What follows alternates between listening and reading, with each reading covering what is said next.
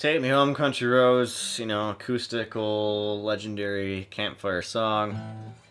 Did a uh, little instrumental version a long time ago on this song, but gonna show it how to play it. Um, let's do it without the capo. Come on, boys and girls. It's uh, let's get. It's an easy bar chord. It's just F sharp minor that we need, right? That's it. Then I'm gonna spice it up a little bit later, but um, some other ones. But we have the A. all those people wondering about a strumming pattern, there it is.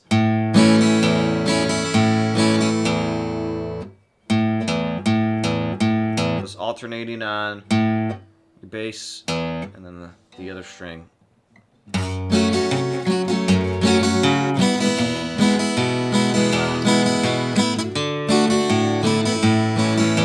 Alright, the first couple lines there.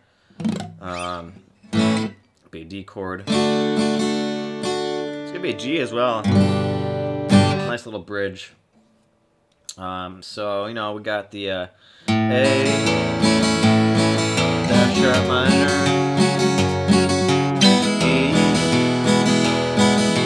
D, and A. So the D and A kind of come quickly. They just share a measure, right? Uh, repeats that same sequence, and then the chorus.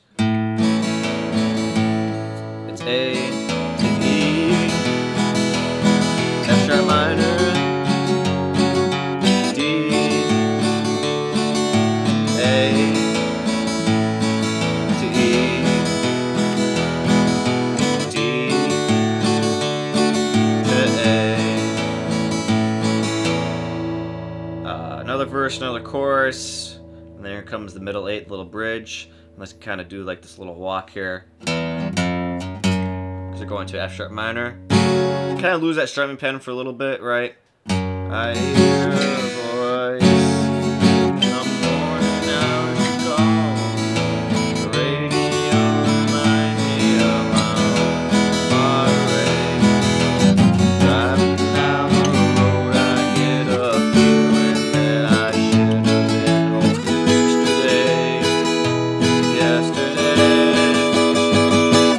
That's where I get a little, uh, little spicy there, right? So back to the, uh, the top of that bridge part. Start on the F sharp minor. I hear a voice in the night.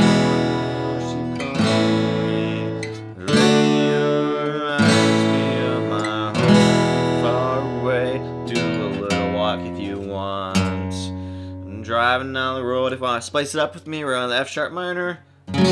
Shifting up to the G barred. To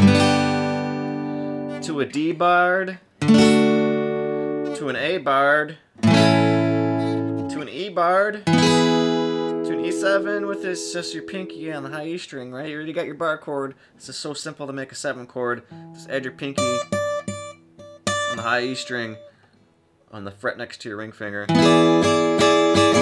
Stop playing and wait for him to come back.